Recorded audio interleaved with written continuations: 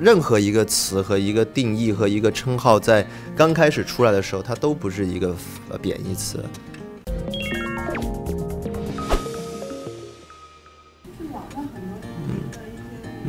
嗯嗯嗯嗯。嗯我觉女装其实其实就是就只有一个，就是我拍那个《活色生香》的，呃，女扮男装的那个，其实那都是为角色。其实我我觉得没什么，对，又不是我私下有这个癖好被拍到了，那我觉得可能最好不要流出去。但这这些我觉得，而且它这个影像的东西会永远保存在那儿，对。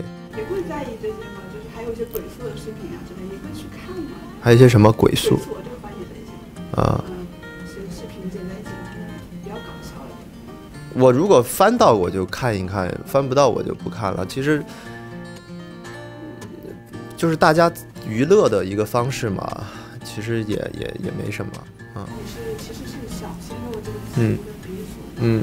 那你会要怎样定义这个词呢？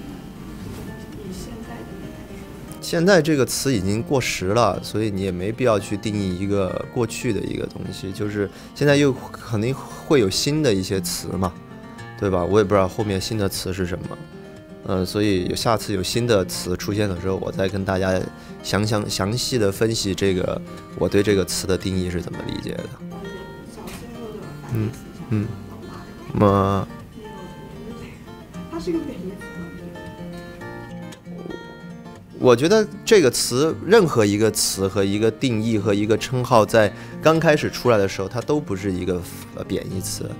啊，它都是一个大家可以供大家一块儿娱乐，供大家一块儿去，嗯，说到的呃一件事情。